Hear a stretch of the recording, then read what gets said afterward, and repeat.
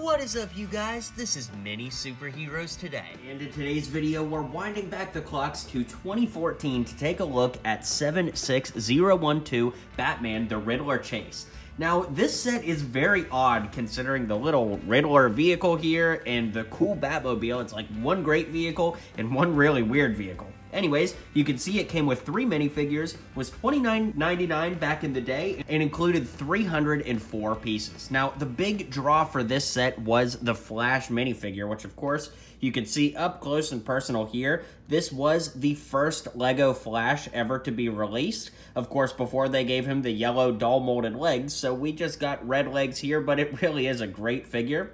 The helmet, if you've never seen one, it's actually kind of rubbery. He's got some red uh, eyebrows there, and on the back side of his head, which you can of course flip around, he's got a little bit more of a determined, angry face, so that's pretty cool. Then we've got the Riddler, who has a banana included, you know, kind of like the old banana peel joke, but anyways, he's got a one-sided head, which looks pretty good, actually. You can see he's got a purple scarf that goes on the back, and lots of question marks all over his torso that really looks great. He's got a gold cane here, and uh, it's just a very cool figure. I always thought the legs being different colors was an interesting, kind of comic booky approach to designing this figure. Then last but not least, we do have the Batman minifigure same head as pretty much every other Lego Batman of the era. And he's got the cowl there, a papery cape. Man, I miss the papery capes. Solid gray arms and legs with black hips, and then just a really great torso printing there, and then some printing on the back as well. So those are our three minifigures here.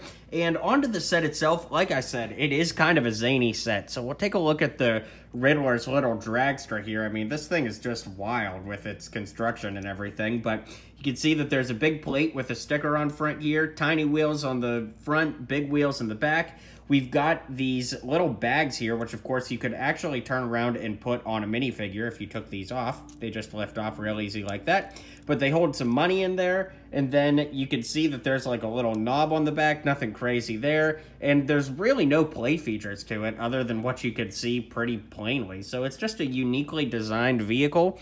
As far as play features go, all of those are actually on the Batmobile, which is a really superior Batmobile design. Definitely one of the better Batmobiles from over the years.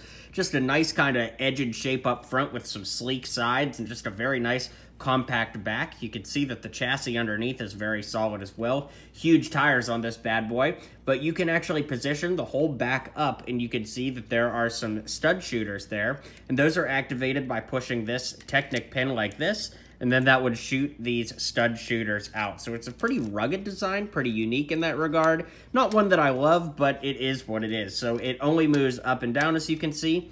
And the only other thing that moves is this front piece here, which comes entirely off.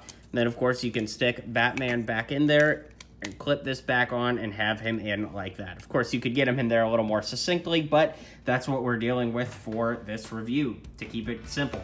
So, is this set worth it? Honestly, I don't think so, guys. We've gotten better Riddlers, better Batmans, better vehicles, and of course, an even better Flash over the years. So, it's a cool set for nostalgia's sake, but not one of the greats. So, drop a comment below. Let me know what you think of this set. Let me know if you have it. Be sure to hit like and subscribe for more, and I'll see you guys on the next video. If you liked what you saw and you liked what you heard, feel free to click that subscribe button for more LEGO content coming in the near future. So, thanks for tuning in to today's video, and until next time, build on.